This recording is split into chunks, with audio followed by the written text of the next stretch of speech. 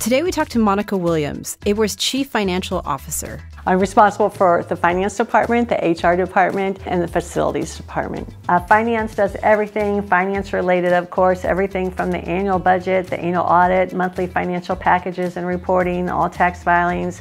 Uh, the HR department handles everything for our 50 plus employees, hiring, onboarding, and training. We also have a fabulous wellness initiative for our employees, everything from yoga to boxing. We also have the facility department, a great team that handles our 32,000 square foot headquarters office plus the north and south office locations, and they keep these offices running smoothly on a day-to-day basis for our members. In one word, I would describe working at ABOR as calming. I think when you come in, there's a family atmosphere, people support each other, even though it's very stressful and fast moving, you know that everybody's here to support you and that things will get done and the help will be there when you need it. It's busy and a fast paced, but it's not stressful, so I have to say calming. It's a joy to come to work.